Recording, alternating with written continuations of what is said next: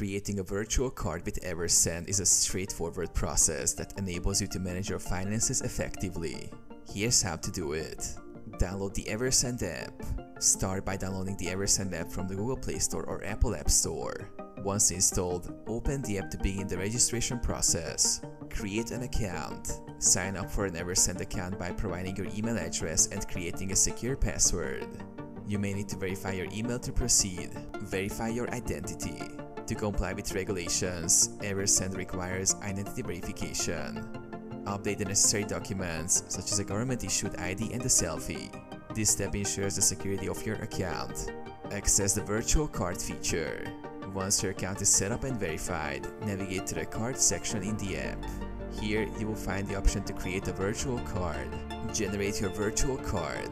Follow the prompts to generate your virtual card. You will receive your card details, including the card number, expiration date, and CVV. These details can be used for online purchases. Fund your virtual card. To use your Eversend virtual card, fund it through your Eversend wallet or other accepted payment methods.